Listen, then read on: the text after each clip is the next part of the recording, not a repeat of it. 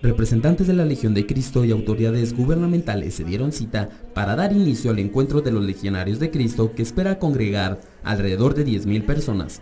El evento del que por segunda ocasión, ese de León, fue inaugurado a las 9 de la mañana.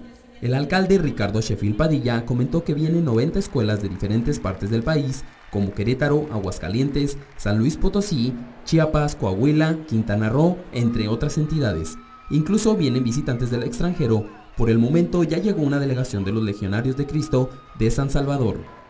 El comité organizador informó que en total para este primer día hay más de 2.400 estudiantes que van a competir en diferentes disciplinas como robótica y oratoria. Sandra Pérez de Abugaber, presidenta del comité organizador, se mostró muy satisfecha por la organización y respuesta de los colegios a nivel nacional. Niños y jóvenes, felicidades por dar ese paso adelante que los hizo distinguirse.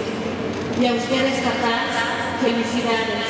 Son un gran ejemplo de apoyo a sus hijos.